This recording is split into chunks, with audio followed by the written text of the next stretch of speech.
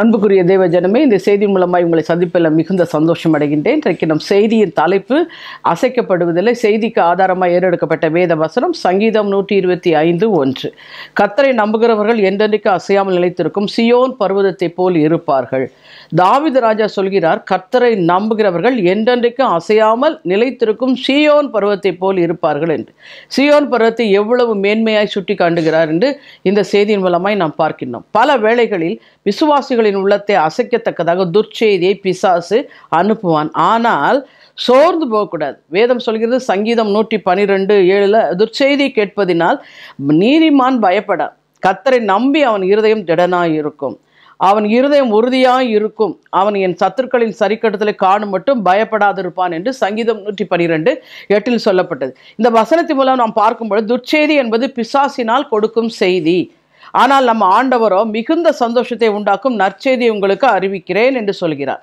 போராட்டங்கள் சண்டை நம்பிக்கை இல்லை நம்பிக்கை இல்லாத நேரங்களில் முற்றிலுமாய் கத்தரை சார்ந்து கொள்ளும் நீங்கள் அசைக்கப்படுவதில்லை என்று இந்த செய்தியின் மூலமாய் நாம் பார்க்கின்றோம். உங்களுடைய அஸ்திபாரம் கிறிஸ்துவின் மேல் அவருடைய வசனத்தின் மேலும் உறுதியாக இருக்கும். ஆனால் என்றென்றைக்கும் அசைக்கப்படுவது இல்லை.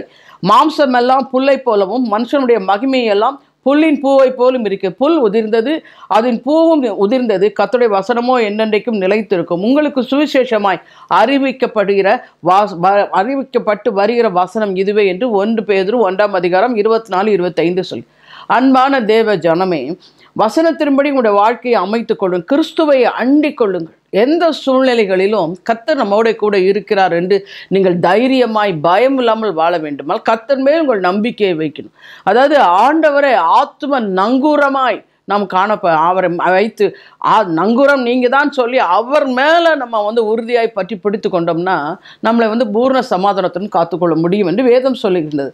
அதனால் இதனால் தான் பாருங்கள் சங்கீதக்காரன் சொல்கிறார் தாவிதன் தன்மிக்கை சிறு வயதிலேயே கத்தரையே அண்டிக் கொள்ளும்படியாய் சொல்ல சொல்லப்பட்டிருக்கிறது வேத வசனத்தில் நீரே என் கற்பத்திலிருந்து என்னை எடுத்தவர். என் தாயின் முளைப்பாலை உன் கையில் என்னை உம்முடைய பேரில் நம்பிக்கையாக இருக்க பண்ணினீர். கற்பத்திலிருந்து வெளிப்பட்ட போதே உமது சார்பில் விழுந்தே நான் என் தாயின் வயிற்றில் இருந்தது போல நீர் என் தேவனாய் இருக்கிறீர் என்று சங்கீதம் இருபத்தி ரெண்டு ஒன்பது பத்து. நம்ம எல்லாருக்குமே கர்த்தரையே நம்பிக்கையாக வச்சுருக்கணும். அவன் பாருங்கள் தாவீது ராஜா தான். சிறு பிள்ளையிலேருந்து பாருங்கள் அப்போது அவன் அபிஷேகம் பண்ணப்படும் பொழுது கூட தகப்பனும் தாயும் அவங்களே மறந்து போனார் ஆண்டு அந்த ஈசாய் வந்து கேட்கும்போது அந்த சாமியில் திருக்கத்தை கேட்கும்போது ஈசாயிட்ட இவ்வளோதான் அவன் பிள்ளைங்களா? அப்படின்னு சொல்லும்போது அப்போ தான் அவருக்கு ஞாபகம் வருது இல்லை ஒரு கடைக்குட்டி ஒருத்தர் இருக்கா அவன் அங்கே இருக்கிறான்னு சொல்லலாம் ஆடு மேய்த்து கொண்டு இருக்கான் வனாந்திரத்தில் இருக்கிறான். பாருங்க கர்த்தர் நம்மை நினைக்கும் பொழுது எப்படிப்பட்ட சூழல் நம்மளை நினைக்கின்றார்? இந்த வசனத்தில் சொல்லப்படுது க வ- சங்கீதம் இருபத்தி ஏழில் தாயும் தகப்பனும் என்னை கைவிட்டாலும் கர்த்தர் என்னை சேர்த்துக்கொள்வார். இன்றைக்கு அநேகனுடைய வாழ்க்கையில் தாய் தகப்பன் கூட மறந்து போகிறாங்க ஆனால் கர்த்தர் நம்மை மறப்பது இல்லை. பாருங்க அங்க கூட்டிட்டு வந்து அந்த சகோதரன் நடுவுல சாமியல் இருந்து தாவியதை வந்து அபிஷேகம் பண்ணிடுறான். அந்த நாள் முதற்கொண்டு கத்துடைய ஆவியான அவர் மேல் இருந்தார் என்று பார்க்குறோம். அதுதான் எல்லா விதத்திலும். இந்த வேதத்தில் பார்க்கும்படி இன்றைக்கு நாம் பார்க்கும் பொழுது ஆம், எப்படி அசைக்கப்படுவதில்லை என்று இந்த செய்தியின் மூலமாய் நாம் பார்க்கின்றோம். கத்தரை முன்வைத்திருக்கிறவர்கள் இரண்டாவது நாம் பார்க்கும்போது ஆதிகாலையில் அவரை தேடுகள் மூன்றாவது நாம் பார்க்கும் பொழுது கத்தரை தஞ்சமாய் கொண்டவர்கள். நான்காவது நீதிமான்கள் அசைக்கப்படுவதில்லை.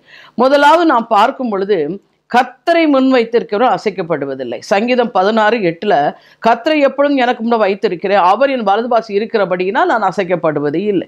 கத்தரை எப்பொழுதும் தனக்கு முன்பாக வைத்திருந்தபடியினால் எதிராக பாருங்கள் அவர் வனா கா காட்டில் இருக்கும்போது கரடி வந்தது சிங்கம் வந்தது. ஆனாலும் பாருங்க கோலி அவர் பொல்லாத கோலியாத்தை வென்றது எல்லாம் அவர் கர்த்தர் கூட இருக்கிறார். கர்த்தரை முன் வச்சார். அதனால தான் அவர் பாருங்கள் எல்லா விதத்திலும் வந்து ஆண்டவர் தாவிதோடு இருந்து எத்தனை சத்துருக்கள்? சங்கீதம் நூற்றி பதினெட்டில் சொல்லப்பட்டது தேனீக்களை போல என்னை வளைந்து கொள்கிறாள். கத்துடைய நாமத்தினால் அவர்களை சங்கரிப்பேன். எனக்கு ரொம்ப பிடிச்ச ஒரு பரிசுத்தமான ஒரு தேவ மனுஷனை ரொம்ப பிடிச்சது தாவிது தான். அத்தனை பாடுகள் மத்தியிலும் ஒரு முறை கூட கத்தரை குறை சொல்லவே மாட்டார். எல்லா விதத்திலும். அது மாத்திரம் இல்லை ஆத்மாவை கத்தருக்கு நேராய் டியூன் பண்ணிட்டார். ஆண்டவரும் ஆமாம் ஆமாம் தாவீதுடைய ஆத்மா அதனால சொல்வார் ஆத்மாவே நீ ஏன் கலங்குற? நீ ஏன் திகைக்கிற? நீ ஏன் பயப்படுற? நீ துடிக்கிற நீ துதிக்கிற ஆத்மா தான் ஆனால் இன்னும் துதி அப்படி சொல்லி கொடுப்பாரு. இதே போல தான் நீங்களும் ஆத்மாவோட பேசணும். வேதத்தில் சொல்லப்பட்ட சங்கீதம் அறுபத்தி ரெண்டு என் ஆத்மாவே கர்த்தரை நோக்கி அமர்ந்துரு. நீ நம்புறது கத்தரால் வரும். நம்ம ஆத்மா வந்து முதல்ல அமரணுங்க. ஏன் எப்படி அமரணும்னா கர்த்தரை எப்பொழுது முன்பாக வச்சுட்டோம்னா அமரும். இன்றைக்கி நீங்கள் கத்தரை எப்படி முன்பாக வச்சுருக்கிறீங்க? கத்தரை வச்சுருக்கீங்களா? பிரச்சனையை வச்சுருக்கிறீங்க. போராட்டத்தை வச்சுருக்கிறீங்க. வியாதியை வச்சுருக்கிறீங்க. அதாவது இது அப்படி ஆயிடுச்சு இது அப்படி ஆச்சு கடன் இவ்வளோ லட்சம் இருக்குது இவ்வளோ பாதுக்கு அவனுக்கு வேலை கிடைக்கல அவனுக்கு போராட்டம் எல்லாம் புலம்பலை வச்சுருக்கிறீங்க. ஆனால் சங்கீதக்காரன் சொல்கிறார் கர்த்தர் எனக்கு முன் வைத்திருக்கிறபடினால் அவர் என் வச வலது பார்க்க இருக்கிறபடினால் நான் அசைக்கப்படுவதில்லை. எல்லா விதத்திலும் கர்த்தர் கூட இருக்கிறார். பாருங்க இங்கே பார்க்கும் பொழுது கர்த்தரை நம்புகிறனோ கி தேவ கிருபை சூழ்ந்து கொள்ளும் என்று சங்கீதம் முப்பத்தி ரெண்டு பத்தில் சொல்லப்பட்டிருக்கு. தாவிது கிருபையை சூழ்ந்து கொண்டு நடத்தா யாராலும் அவரை மேற்கொள்ள முடியல. அது மட்டும் இல்லை மூன்று காரியங்கள் அசைக்கப்படுவதில்லை. ஃபஸ்ட்டு வந்து தேவனுடைய ராஜ்யம் ரெண்டாவது தேவனுடைய வார்த்தை மூணாவது வந்து தேவனுடைய ஜனங்கள். தாவிது போராட்டத்தையோ பிரச்சனையோ முன்வைக்காமல் கர்த்தரை மட்டும் முன்வைத்திருந்தார். எப்பொழுதும். அதாவது கஷ்ட நேரத்திலும் வேதனை நேரத்திலும் சந்தோஷ நேரத்திலையும் சமாதான நேரத்திலும் மகிழ்ச்சி நேரத்திலும் எப்போவுமே ஆண்டவரையே முன்னாடி வச்சுருந்தார். தே- அதனால தான் பாருங்க அவர் பாருங்கள் தேவ சமூகத்தில் அவருக்கு ஆனந்தமாய் அனுபவி தேவ பிரசன் அவரை எப்போவுமே சூழ்ந்து இருந்தது. கடத்தையும் மகிமையும் உழந்தார். அவரை பாருங்கள் ஆண்டர் கூட இருக்கிறாருங்கிறத இன்றைக்கு நான் உங்களுக்கு ஒன்று சொல்கிறேன் கர்த்தர் கூட இருக்கிறாருன்னு முதல்ல நீங்கள் உணரணும். என் கூட நீங்கள் இருக்கிறீங்கப்பா. நான் எப்போவுமே எந்த பிரச்சனைகள் என்ன எல்லா சூழலும் பிரச்சனை இருந்தாலும் சரி பிரச்சனை இல்லாட்டாலும் சரி எந்த சூழ்நிலத்தில் எப்போவுமே சொல்லுவேன் நீங்கள் என் கூட இருக்கிறீங்க. உங்கள் கரை என் மேலே இருக்குது. நீங்கள் எல்லாம் பார்த்துக்குவீங்க நான் பயப்பட மாட்டேன். நான் கல கலங்க மாட்டேன். நான் எங்கள் போக மாட்டெல்லாம் நீங்கள் வர்றீங்க. நீங்கள் என்னை விட்டு விலகலை என்னை கைவிடலைன்னு சொல்லிட்டீங்க. உங்கள் வார்த்தையை நம்புகிறேன் நான் உண்மை தான் என் முன்பாக வைத்திருக்கிறேன். அப்படின்னு சொல்லும் பொழுது கத்தரை முன் நிறுத்தினோம் என்றால் தைரியம் நமக்கு வரும். அதனால தான் வேதம் சொல்கிறது நீதிமான் சிங்கத்தை போல் தைரியமாக இருப்பான். காட்டில் சிங்கம் மட்டும்தாங்க ரொம்ப அதுதான் அந்த காட்டுக்கு ராஜா அப்படிங்கிறது தன்னை குறித்து அது ஒரு இது- ஒரு திடமான மிருகம்னு சொல்ல அது ஒரு தைரியத்தை உண்டு பண்ணிக்கிச்சு.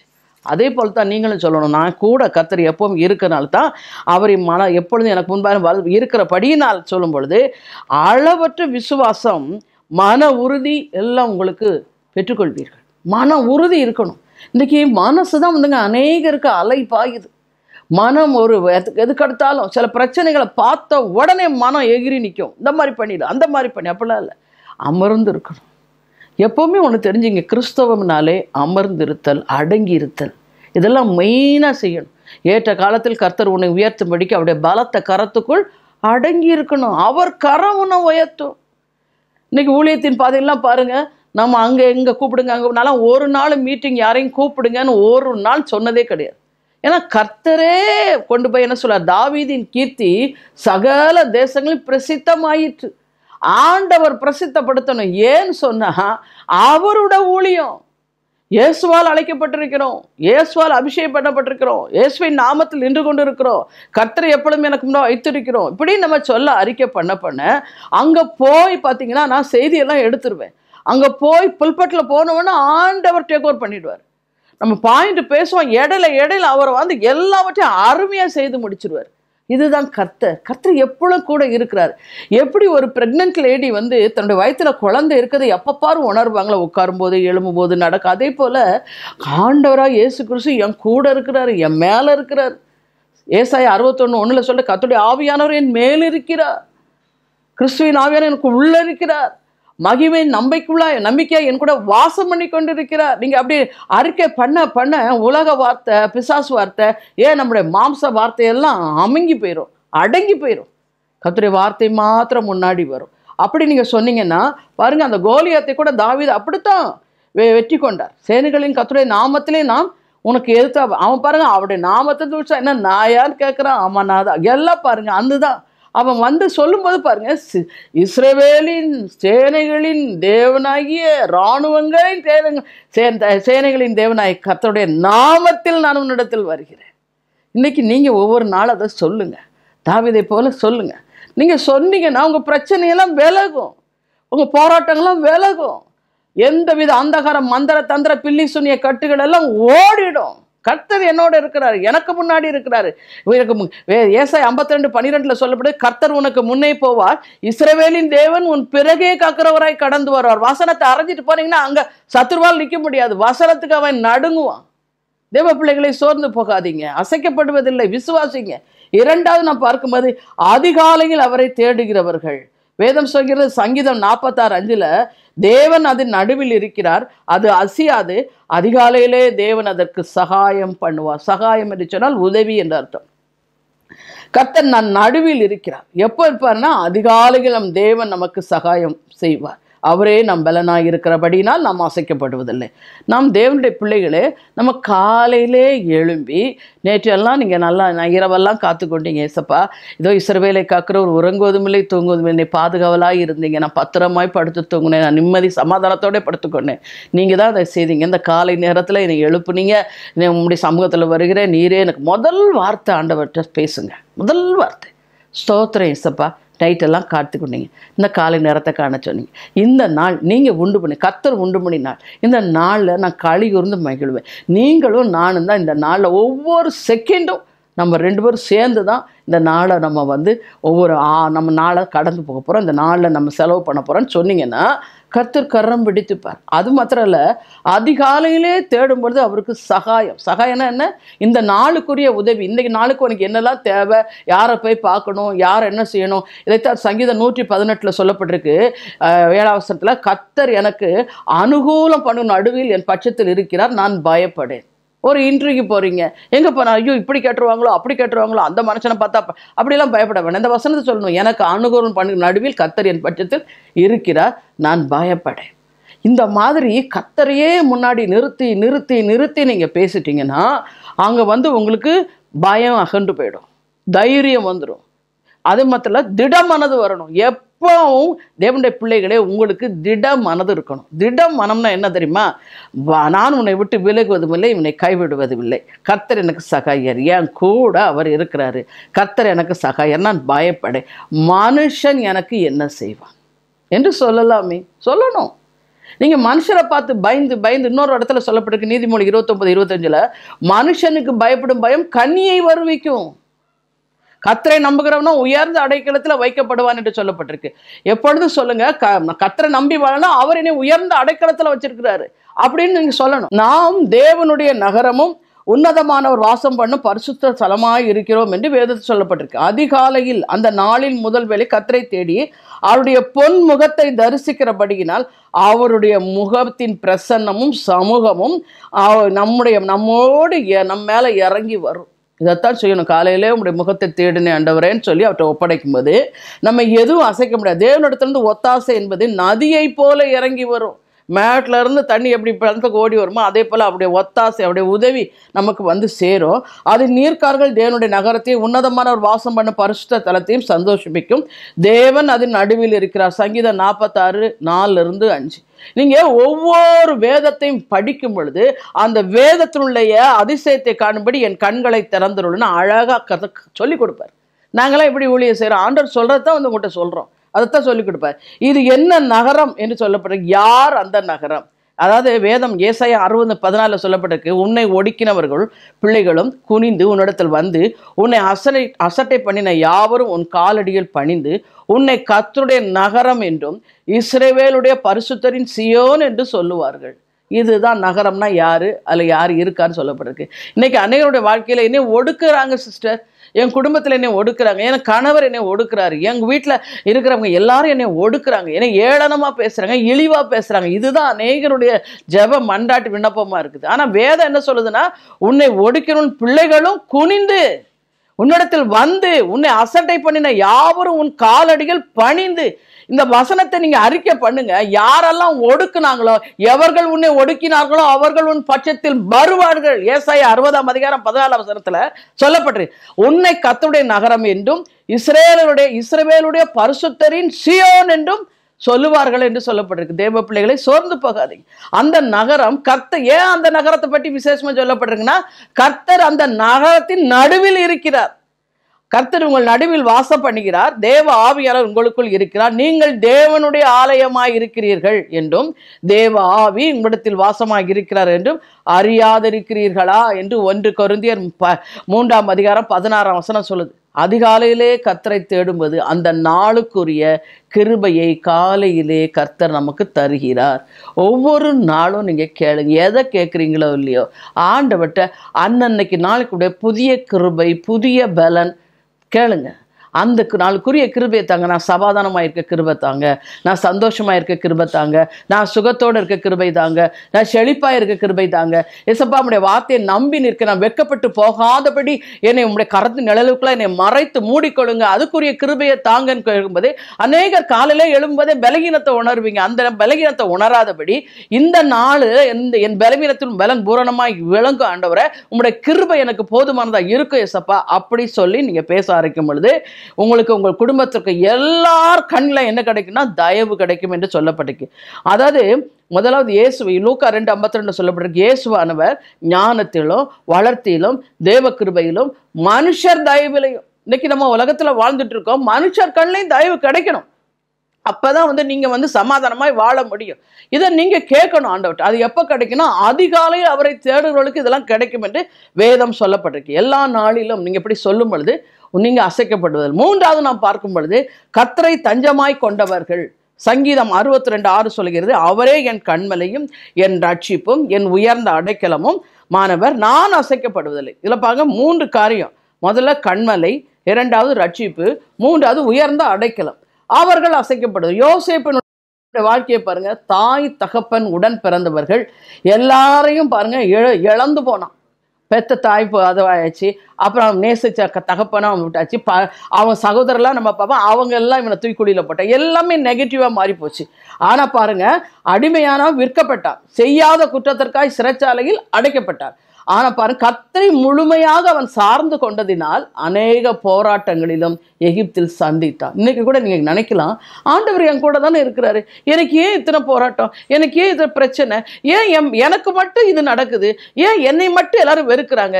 ஏன் எனக்காக வந்து யாருமே பரிந்து பேச ஒருத்தர் இல்லை? இப்படியும் தனிமையாக இருக்கிறேன் நான் ஒடுக்கப்படுறேன் நான் புலம்புறேன் நான் தள்ளப்பட்ட கல்லாக இருக்கிறேன். அப்படியெல்லாம் நீங்கள் நினைக்கலாம். யோசிப்புடைய வாழ்க்கையை பாரு அவன் தள்ளப்பட்ட கல் வெறுக்கப்பட்ட கல் ஒடுக்கப்பட்ட கல் எல்லா கல் அந்த ஆள் பாருங்க அதே எகிப்தில் அவனை என்ன பண்ண சிறைச்சாலையை ஒரு கைதியாக போனவரை கர்த்தர் அந்த தேசத்தின் ஆளுநராய் மாற்றினார். இன்னைக்கு நீங்க கஷ்டப்படுறீங்களா? நெருக்கப்படுறீங்களா? உபாத்திரப்படுறீங்களா? போராட்டத்தில் மத்தியில் வாழ்ந்துட்டு இருக்கிறீங்களா? கர்த்தர் உங்களை பார்த்துக்கிட்டே இருப்பார். நிச்சயமா உயர்த்துவார். சோர்ந்து போக வேண்டாம். அவர் சொல்றார் பாருங்க அவன் அவன் பாருங்க யோசிப்பை குறித்து சொல்லும்போது அவன் கால்களை விலங்கு போட்டு ஒடுக்கினார்கள். அவன் பிராணன் இரும்பில் அடைப்பட்டிருந்தது. அது எல்லாம் விலங்கு இரும்பு தான் அவன் பிராணன் இரும்புதான் கத்தர் சொன்ன வார்த்தையா அவருடைய வசனம் அவனை புடமிட்டது என்று சங்கீதம் நூத்தி அஞ்சுல பதினெட்டு பத்தொன்பது. ஆ இன்றைக்கு கூட உங்களை பார்த்து கத்தர் சொன்னார் உங்களுக்கு ஆண்டு கொடுத்த வசனம் உங்களை புடமிடும் வரைக்கும் தாங்க போராட்டம். அதை புடமிட்ட பிறகு உங்களுக்கு வந்து உயர்வு தான். சோர்ந்தே போகக்கூடாது. நிச்சயமா நீங்க சொல்லுங்க கத்தர் எப்பொழுது என் கூட இருக்குன்னு ஆசைக்கப்படுவது இல்லை என்று சொல்லணும். சோதனை காலம் முடிந்த பிறகு கத்தர் அவனை எவ்வளவா உயர்த்தப்பட்டார். சோதனைகள் எல்லாம் சாதனையாய் முடிந்தது. அடிமையாய் போனவன் கத்தரை மட்டும் சார்ந்ததினால் எகிப்து ராஜ்யத்திற்கே ஆளுநராய் உயர்த்தப்பட்டான் என்று பார்க்க அன்புக்குரிய தேவ பிள்ளைகளே எந்த சூழ்நிலையிலும் கத்தர் மேல் நம்பிக்கையாய் வைங்க அவரே உங்களுக்கு கண்மலை அவரே உங்கள் ரட்சிப்பு அவரே உங்கள் உயர்ந்த அடைக்கலம். அநேக பாடுகளை சந்திக்கும் போது யோசை போல யோசேப்பை போல கத்தரை மட்டும் சார்ந்துக்கணும் இன்னைக்கு சில பிரச்சனை அப்படித்தானே ஃபேஸ் பண்ணுறீங்க எல்லாரும் இருந்து இல்லாதவளாக இருக்கிறேன் அப்படி சொல்லுவாங்க. அநேகர் என்கிட்ட வந்து ஜெபிக்கும்போது புருஷன் இருந்தும் இல்லாதவளாக இருக்கிறேன் சிஸ்டர்னு கேட்பாங்க. சில பேர் சொல்லுவாங்க மனைவி இருந்து இல்லாதவனாக இருக்கேன் பிள்ளைகள் இருந்து இல்லாதவனா. நான் அப்போ சொல்ல உங்களுக்கு கத்தர் தான் எல்லாம்னு சொல்லுவேன். அது உண்மைதான். தேவ பிள்ளைகளே அநேக போராட்டங்கள் நம்ம சந்திக்கும் பொழுது கத்து நம்மோட கூட இருந்து வேதத்தில் நமக்கு அவர் என்னெல்லாம் சொல்லியிருக்காத உண்மைங்க. அவர் கூட இருக்கிறார். சோதனை நேரத்தில் கூட இருக்கிறார். வேதனை நேரத்தில் கூட இருக்கிறார். கண்ணீர் வடிக்கும்போது கூட இருக்கிறார். கரம் பிடித்து நடத்துவார். உன் அழுகையின் பள்ளத்தாக்கை ஒருவர் நடந்து அதையே நீரூற்றாய் மாற்றி தர கத்தர் உன்னோட கூட இருக்கிற இன்னைக்கு அழுகையின் பள்ளத்தாக்கை கடந்துட்டு இருக்கிறீங்களா? கவலைப்படாதீங்க. அதையே கத்தர் உங்களுக்கு நீரூற்றாய் மாற்றி தருவார். கத்தருடைய சமூகத்தில் நீங்கள் உங்க ஒப்படைக்கும் போது கத்தர் எல்லாவற்றையும் பார்த்து அவரை சார்ந்து வாழும் பொழுது அவர் நீங்கள் அசைக்கப்படுவதில்லை தெய்வ பிள்ளைகளே. யோபு பாருங்க கத்தரை என்னை கொன்று போட்டாலும் அவர் மேல் நம்பிக்கையாக இருப்பேன் என்று யோபு நாற்பத்தி ரெண்டாம் அதிகம் ரெண்டுலேருந்து பன்னிரெண்டு. அருமையாக அருமையா கத்தர் சொல்கிறார் அவன் பிறகு யோபை போல் சொல்லணும். அன்னைக்கு அநேகருடைய போராட்டங்களை பார்த்து பார்த்து சோர்ந்து போயிடுறாங்க. சோர்ந்து போகக்கூடாது. நான் எதுக்கு சொல்கிறேன்னா அநேக பாடுகள் வழியாய் கத்தர் நம்மை நடத்துவேன் அந்த பாடுகளில் தான் நம்ம பரிசுத்தம் அடைய முடியும். சில நேரத்தில் நமக்கு வந்து ஆண்டோடைய வார்த்தையை கீழ்ப்படியாமலே நம்ம அல்லல் தட்டிகிட்டே இருப்போம். ஆனால் சில உபத்திரங்கள் வரும்பொழுது நம்ம எல்லாத்தையும் சரி பண்ணுவார். நம்ம வந்து அதிகாலை ஜபம் ஏறெடுக்காமல் இருந்திருப்போம் அதிகாலை ஜபம் பண்ணுவோம். சர்ச்சுக்கு ஒழுங்காக ஓய்வு நாளை ஆசரிக்காமல் இருப்போம் ஓய்வு நாளுக்கு போவோம். அதே போல் காணிக்கை கொடுக்க தான் பெரிய போராட்டமாக இருக்கும் காணிக்கை நீங்கள் வந்து நான் உங்களுக்கு ஒன்று சொல்லட்டும். காணிக்கையை கொடுத்து பாருங்கள் தேவ பிள்ளைகளை. கொடுங்கள் உங்களுக்கு கொடுக்கப்படும். அளந்து சரிந்து நீங்க வந்து கொடுத்ததை பார்த்து நல்ல மன உற்சாகமாய் கொடுத்தீங்கன்னு வச்சுக்கோங்க கத்தர் உங்களை நல்லா ஆசீர்வதிப்பார். இந்த ஊழியத்தின் தேவைகள்லாம் ஏராளம் இருக்கும். இப்போ நான்லாம் என்ன செய்வேன் என்னன்னா இப்போ எனக்கு ஒரு ரெண்டு லட்ச ரூபாய் ஒரு லட்ச ரூபாய் வந்து தேவையாக இருந்துச்சுன்னா அட்வா அதை பாருங்கள் அந்த டைத்தை ஒரு லட்சம் ரூபாய் உடனே பத்தாயிரம் ரூபாய் அப்படியே டைத் போட்டுருவேன். காணிக்கையே போட்டுருவேன். பார்த்தீங்கன்னா அது ஈஸியாக முடிஞ்சிடும் கத்துட்டு கொடுத்துடணும். தசவம் பார்க்க முடியாது நம்ம கொடுத்து நீங்கள் கொடுத்து பார்த்தீங்கன்னா அதை கொடுக்கறத நிறுத்தவே முடியாது. கொடுக்க கொடுக்க கொடுக்க ஆசீர்வாதம். நாங்களாம் இன்றைக்கு ஊழியத்தின் பால இருபத்தி நாலு வருஷம் சரி குடும்பமும் சரி எல்லா சூழ்நிலைகளிலும் கத்தர் கூட இருக்கிறாருன்னா அவனு கொடுத்து கொடுத்து தான் சந்தோஷமா கொடுக்கணும். எங்க தாய் தகப்பன் எங்களை அப்படி வழி நடத்தினாங்க. நாங்கள் திருநெல்வேலியில் ஒரு சின்ன கிராமத்தில் சாம்பார் உடகரைன்னு ஒரு ஊரில் வளர்ந்தோம். அங்கே பாருங்க எங்கள் அம்மா எதுக்கு எடுத்தாலும் பொருத்தனை பண்ணிடுவாங்க. காணிக்க போடுவாங்க காணிக்க எப்படி தசம் பகத்தை செலுத்தணுவாங்க. கரெக்டாக காணிக்க கொடுத்துருவாங்க அப்படி ஒவ்வொன்றும் பொருத்தனை ஜெபத்துக்கு காணிக்க எடுப்போம். ஆனால் அந்த பழக்கம் எங்களுக்கு இன்னும் அப்படியே இருக்குது அதனால இன்னைக்கு நாங்கள் எல்லாருமே எங்களுடைய சகோதரம் சகோதரி எங்கள் அம்மாவுடைய சிஸ்டர்ஸு எங்கள் அம்மா எல்லாருமே சந்தோஷமா நல்ல ஆசீர்வதிக்கப்பட்ட சந்ததியாக நாங்கள் இருக்கிறோம். ஆனால் கொடுக்க தான் நம்ம யோசிக்கக்கூடாது வேதம் சொல்லுது அவர் கொடுக்கும் பொழுது நம்ம வந்து இப்போ ம தசம பக்கத்தான் காணிக்கையும் கத்தருக்கு செலுத்தும் போது உன் தானியத்தை வந்து யார் இது பண்ணுறாங்களோ அவங்கள கண்டிப்பேன்னு சொல்லியிருக்கிறார். நான் எப்பவுமே சொல்லுவேன் டாக்டர்ஸ் செலவை போய் சேர்ந்தப்படுத்தானே ஆண்டோட காணி கொடுத்தனா அங்கே செலவே இருக்காது.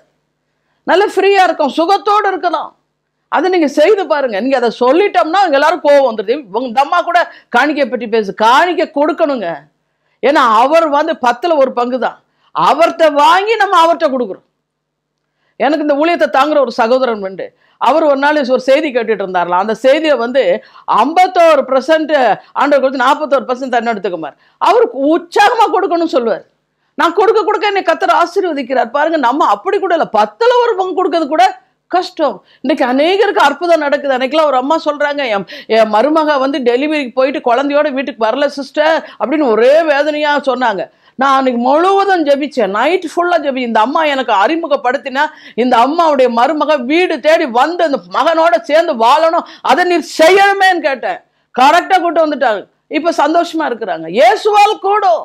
முடியாததை முடிக்கிற இயேசு கிறிஸ்துவை நாமம் உன்னோட என்னோட கூட இருக்கும் தேவ பிள்ளையே ஏன் பயப்படுகிறாய்? ஏன் கலங்குகிறாய்? ஏன் புலம்புகிறாய்? இயேசுவால் கூட விசுவாசி. முடியாததை முடிக்கிற இயேசு கிறிஸ்து நாமம் செயல்படும் தேவ பிள்ளைகளே. அவரை நம்பி இருக்கும் பொழுது அசைக்கப்படுவதில்லையே நீ. ஒரு நாள் சொல்லாத. நான் வெக்கப்பட்டு போயிடுவேன். நான் போக மாட்டேன். வேதம் அப்படிதான் சொல்லுது. அவர் சொன்ன வார்த்தை உண்மை உள்ளது சத்தியம் உள்ளது. நூத்துக்கு ஒரு நடக்கும். என் ஜனங்கள் ஒருபோது வெட்கப்பட்டு போவது இல்லையே. இதை சொல்லணும். அதை சொல்லதுக்கு உனக்கு தெரியணும். வேத வசனம் தெரியணும். தெரிஞ்சாதான் நீ சொல்ல முடியும். அதனால் எப்போவுமே சொல்ல நீதிமான்களுடைய நீதிமான்களுடைய வேர் அசைக்கப்படுவதில்லை என்று கடைசியாக பார்க்குறோம். நீதிமொழிகள் பத்து முப்பதில். நீதிமான்களுடைய வேரோ அசையாது என்று நீதிமொழிகள் பனிரெண்டு மூணில்.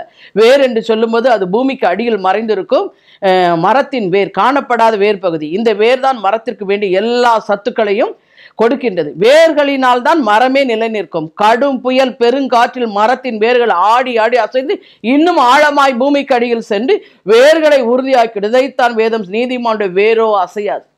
புயல் அடிக்கும் காற்று அடிக்கும் பிரச்சனைகள் வரும் போராட்டங்கள் வரும். அதுல வந்து பாத்தீங்கன்னா உன் விசுவாசம் உறுதியான வேராய் அடியில போய் அப்படின்னு அசைக்கப்படுவதில்லை என்று காணப்படும் முடியும். பரிசுத்த அவரோட கூட இணைந்து இருக்கும்போது நீதிமானுடைய வாழ்க்கையில் துன்ப புயல் எந்த போராட்ட புயல் அடித்தாலும் சுழற்காற்று வீசினாலும் ஜெபஜீவிய ஆவியனோட உறுதியாக இணைந்திருந்தால் அசைக்கப்படுவதில்லை என்று ரோமர் பத்து பதினொன்றுல சொல்லுங்க வேறானது பரிசுத்தமாயிருந்தால் கிளைகளும் பரிசுத்தமாயிருக்கும். இருக்கும் வேர் மகனுடைய சிந்தனைகள் எண்ணங்கள் சிந்தனை என்று வேறிலிருந்து தான் சொற்கள் நாவின் வழியாக வெளியே வருகிறது. தேவ பிள்ளைகளை சிந்தனை தூய்மையாக இருந்தால் சொற்களும் தூய்மையாய் இருக்குமே. உள்ளம் சிந்திக்கிறது உதடுகள் சொல்கிறது என்று நாம் பார்க்கின்றோம். எல்லாவற்றிலும் தூய்மையா இருந்தால் ஆமேன். கசப்பு வைராக்கியம் சிந்தனை கோபங்கள் இச்சைகள் எரிச்சல்கள் வந்துவிட்டால் அது முழு வாழ்க்கையும் தீட்டுப்படுத்தி விட்டுரும். தெரிந்து கொள்ளுங்க. இன்னைக்கு சண்டை போடுறோம். அவர் என்னை அடிக்கிறாரு. நான் திருப்பி அடிச்சிட்டேன். நான் இப்படி பண்ணிட்டேன். நான் அப்படி பண்ணிட்டேன். நான் யார் தெரியுமா? இதெல்லாம் மாம்ச கிரியைகள். ஆனால் ஆண்டவர் பாருங்கள் அந்த புயல் அடிக்கிற நேரம் போராட்டத்தின் நேரம் நீ அமைதியாக இருந்தானா அந்த அடிக்க அடிக்க அந்த எப்படி ஒரு முத்து போய் கடலில் போய் மாட்டிக்கும் போது அது ஒரு அவர் போய் மு- க- மாட்டும் போது அதில் வந்து அந்த புயல் காட்டை அடிக்க அடிக்க அடிக்க அந்த உள்ளே இருக்கிற முத்துக்கு பவர் அந்த வெளிச்சம் அது நல்லா பிரகாசிக்க முடியாது. இதைத்தான் குணசாலியான ஸ்ரீயை கண்டுபிடிப்பன அவர் விலை முத்துக்களை பார்க்கலும் விலையேற பெற்றவள். எந்த ஒரு வி குடும்பத்தில் பாடுகளையும் உபாத்திரத்தையும் வேதனையும் சகிக்கிற ஒரு ஸ்திரீ இருந்தால் அந்த குடும்பம் நிச்சயமாய் ஆசிர்வதிக்கப்படும். நீ ஸ்திரீகளுக்குள்ளே நீ ஆசீர்வதிக்கப்பட்டவள் எல்லாவற்றிலும் கத்தருக்கு பயப்படுற ஸ்திரீயாய் மாற முடியும். தேவ பிள்ளைகளே அநேக பாடுகளை கடந்து வரணும். ஒருவனும் தேவனுடைய கிருபை இழந்து யாதொரு கர்சப்பான வேர்முளை தெளும்பி கலக்கம் உண்டாகிறதுனா அநேக தீட்டுப்படாதபடிக்கும் எபிரேயர் பன்னிரெண்டு பதினஞ்சில் சொல்கிற அன்புக்குரிய தேவ பிள்ளைகளே உங்களுடைய ஆழம் பரிசுத்தாவினோட தொடர்பு கொண்டு இருக்கிறது மட்டுமல்ல எண்ணங்களும் சிந்தனைகளும் ஆவியானோட இணைந்து இருக்கட்டும் இந்த வேத வசனம் அப்படிதான் சொல்லும் அப்பொழுது உங்களுடைய சொற்கள் செயல்கள் பரிசுத்தமாய் அநேக மக்களுக்கு ஆசீர்வாதமாய் ஊற்று கண்ணாய் நீங்கள் மாற முடியும். இன்றைக்கு அநேகருடைய வாழ்க்கையில சொல்லுவாங்க நாங்கள் இவ்வளோ பாடுகள் கடந்து வந்தோம். என்னுடைய என்னோட வாழ்க்கையில இன்றைக்கு ஊழியம் எப்படி இவ்வளோ வல்லமையா நீங்க செய்கிறீங்கன்னு கேட்டாங்கன்னா நான் சொல்லுவேன் அநேக பாடுகள் அநேக உபத்திரவங்கள் அநேக போராட்டங்கள் எல்லாம் சந்திக்கும் போதெல்லாம் கத்த சொல்வார் நீக்கு பயப்படாத நான் கூட இருக்கிறேன். இந்த பாதையை கடக்கணும். இந்த பாதையை கடக்கும் பொழுது சக்க வேதனைகள் தான். போராட்டங்கள் தான். கண்ணீரின் பள்ளத்தாக்கு தான். ஆனால் பாருங்கள் கத்தர் கடந்து வந்து எல்லார் மத்தியில் கொண்டாந்து பயன்படுத்தும் போது இன்னும் கொஞ்சம் அனுபவிச்சிருக்கலாமோன்னு தோணும். இன்னும் கத்தர் நம்மளை வல்லமையை எடுத்து பயன்படுத்துவார் என்று. பாடுகள். அப்பதான் நீங்கள் வந்து அந்த பாடுகளில் வந்தீங்கன்னா உலகத்தான் சொல்லுவான் செத்தாதான் சுடுகாடுன்னு. நம்ம சொல்லணும் பட்டாதான் பரலோகம். பாடுகளில் வந்தால் தான் நீங்கள் வந்து எந்த பிரச்சனைக்காக வந்து எங்கள் மத்தியில் வந்து நீங்கள் ஜெபிக்க வந்திருக்கீங்களோ அப்போ அந்த பிரச்சனைக்கு இயேசுவின் நாமத்தை நோக்கி நாங்கள் கூப்பிடுவோம். நான் இந்த பாதையை கடந்த நேசப்பா இந்த மகள் கடக்கும் பொழுது நீ ஒரு உதவி செய்யும். பலனுள்ளவனுக்கும் பலனற்று உதவி செய்ய லேசான காரியம். இது உங்களுடைய பார்வைக்கு அற்ப காரியம். காற்றையும் காண மாட்டேன் மழையும் காண மாட்டேன். பள்ளத்தாக்க தள்ளினால் நிரப்பப்படும். கண்ணை மூடிட்டு விசுவாசிக்கணும். இந்த பாடுகளுக்கு பின்னாடி மேன்மை. சிலுவை அவன் சில பேர் வந்து ஜெபிக்க வரும்போதே சொல்லுவாங்க சிஸ்டர் எனக்கு சிலுவே வேணாம் சிஸ்டர்வாங்க நான் அப்போ சொல்ல உங்களுக்கு பதிலே வராது. சிலுவைக்கு பின்னாடி தான் மேன்மை பாடுகளுக்கு பின்னாடி உயர்வு போராட்டத்துக்கு பின்னாடி கத்தர் உயர்த்துவார். யோசிப்பை பார்த்தீங்கன்னா தனிமையில் இருந்தார் கத்தரை சார்ந்து கொண்டார் எகிப்துக்கு கைதியாக போனவர் கடைசியில் அவர் கத்தர் உயர்த்தினார் ஆளுநராய் மாற்றினார். இன்றைக்கு நீங்கள் என்ன பிரச்சனையில் சிக்கியிருக்கிறீங்க? பயப்படாதீங்க. கத்தரை எப்பொழுதும் எனக்கு முன் வைத்திருக்க அவர் என்ன வலது பாசி அசைக்கப்படுவதில்லை. அதிகாலமே தேடும்போது கத்தர் உங்களுக்கு சகாயம் செய்வார். கத்தரை சார்ந்து கொள்ளும்போது நீர் அசைக்கப்படுவதில்லை. நீதிமான் உடைய வேர் அசையாது என்று சொல்லப்பட்டது போல கத்தர் உங்களையும் ஆசிர்வதிப்பார். நாம் ஜெபிப்போமா? எங்களை நேசிக்கிற அன்புள்ள ரட்சக இம்மட்டுமாய் உம்முடைய ஜனங்களோடு நீர் பேசினீர் ஆண்டவரே. ஏன் எனக்கு இந்த போராட்டம்? ஏன் இந்த பாடுகள்? ஏன் இந்த வேதனை? ஏன் இந்த நெருக்கம்? ஏன் ஏன் என்று கேள்வி கேட்டுக்கொண்டு இருக்கிற ஒவ்வொருவரையும் பார்த்து நீர் சொல்கிறேன் நீதிமான் வேறு அசையாது. நீதிமான் என்றும் அசைக்கப்படுவதில்லை. கத்தரை எப்பொழுதும் எனக்கு உண்டாய்த்திருக்கிறேன் அவர் என் வலதுபாசி இருக்கிறபடி நான் அசைக்கப்படுவதில்லை என்று. யோசிப்போட கூட இருந்து அவனை அசைக்கப்படாதபடி காத்து உயர்த்தினது போல இந்த பிள்ளைகள் என்னென்ன காரியத்தில் புலம்பி தவித்து நிற்கிறார்களோ எல்லாவற்றிலும் நீர் ஆசீர்வாதத்தை கட்டளையிட்டு உயர்த்தி அவர்கள் அசைக்கு கர்த்தரை எப்பொழுதும் என்னோடு இருக்கிற அசைக்கப்படுதல் என்று சாட்சி எழும்பும்படைய உங்களுடைய அவனுடைய வாழ்க்கையில் அதிசயம் இயேசு கிறிஸ்துவால் நடப்பதாக என்று நான் ஜெபிக்கின்றேன். ரிஷி கபி ஹலதூரி கந்தூரி கபால் அதார ஹதூரி கபால். ஆல்வின் நீ பயப்பட வேண்டாம். அநேகருக்கு உதவி செய்கிற மகன்தான். என்னிடத்தை மட்டும் இன்னும் அதிகமான பண வசதி இருந்தால் நான் இன்னும் அநேகருக்கு உதவி செய்வேன் என்று சொல்கிறாய். ஆனால் கத்தர் சொல்கிறார் நீ கொஞ்சத்தில் உண்மையாக இருந்தால் அநேகத்தின் மேல் நான் உன்னை அதிகாரியாய் வைப்பேன். விசுவாசி. உஷபீல ஹந்தூரி யார் இந்த கனகராஜ்? லிஷிகா பாலஹது கத்தருக்கு மிகவும் பிரியமானவன். அநேக பண நெருக்கடி தான் போராட்டமா. இல்லை இல்லை கத்தரை நம்புகிறவன் செழிப்பான் என்று சொல்லு. இன்னும் கொஞ்ச காலத்தில் அல்லவோ லீபனோன் செழிப்பான வயல்வெளியாய் மாறும் என்று கத்தர் சொல்கிறார். விசுவாசி. ரிஷபி லபீத ரி கந்தூரி ஹடதுனி கபீரி கபாலபா யார் இந்த ரீட்டா? ரீட்டா நீ சோர்ந்து போகாதே. கத்தர்வனை மிகவும் நேசிக்கிறார். உனக்கு வாக்குத்தத்தம் செய்தவர் உண்மையுள்ளவர். உனக்கு கர்ப்பத்தின் கனி கொடுக்க வேன் என்று சொன்னால் சொன்னதுதான் மகளே நீ விசுவாசி. ஏற்ற காலத்தில் இன்னும் கொஞ்ச காலத்தில் அல்லவோ. கர்த்தர் உனக்கு சீக்கிரத்திலே நியாயம் செய்து ஓ உன் இருதயம் மகிழும்படியான காரியம் பண்ணி கற்பத்தின் கனியை நீ ஏற்று நிற்கும்படியா உன்னுடைய வாழ்க்கையில கத்தர் அதிசயத்தை செய்து கற்பத்தின் காணி கத்தரால் கிடைக்கும் சுதந்திரம் என்றதை நிரூபித்து காட்டுவேன் விசுவாசி என்று சொல்லுகிறார். ரிஷபில் அகத்தூனே லிபி ஹாபிடன ஹபிது ரிஷன்டு ரிபலை கபி கபார் ஓ கிளகபோ தர கபார் அதி பார் தனிக்கம் யார் இந்த சிவநேசம் இயேசுவை நேசிக்கிற மகன்தான் ஆனாலும் பாடுகளில் சிக்கி பயப்படுகிறாய்.